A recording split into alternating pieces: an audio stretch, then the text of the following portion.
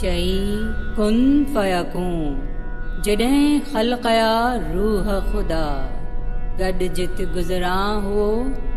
जड़ लॻी तंहिंजा मूं तो ई सिया उहा साञा सुपरी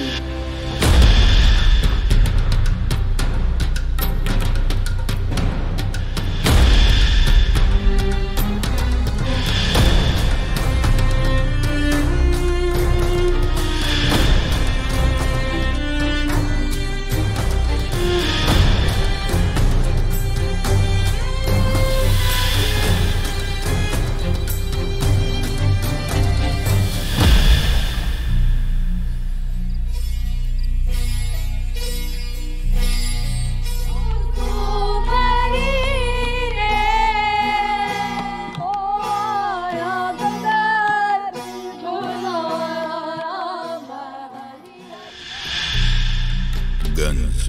کہانی ہے آج سے تین صدی قبل دنیا تصوف کے افق پر طلوع ہونے والے ایک آفتاب شاہ عبد بٹائی کی جس نے سندھ کی دھرتی کو اپنی آفاقی فکر اور درویشانہ تصور کائنات سے منور کیا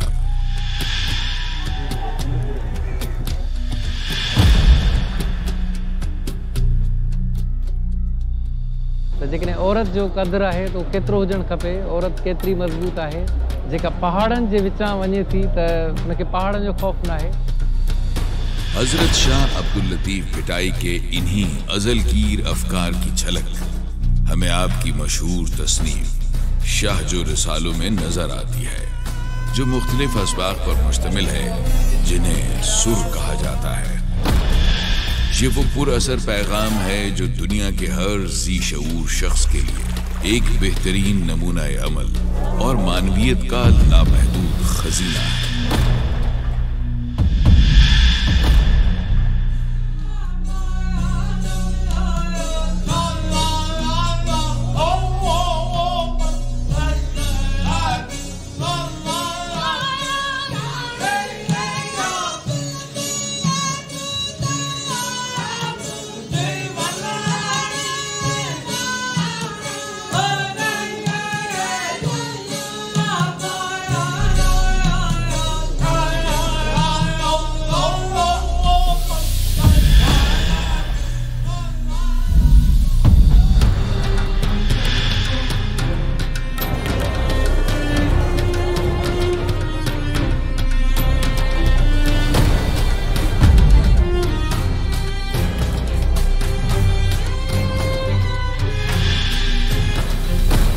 Gunj is the tale of Shah Abdul Latif Bhatti,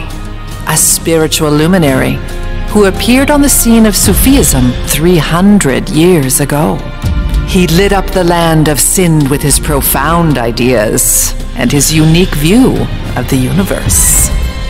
We catch a glimpse of his timeless wisdom in his renowned work Shah Jo Risalo, which comprises chapters referred to as source. This message exemplifies a life of purpose and offers a boundless source of wisdom for anyone with a curious mind, anywhere in the world.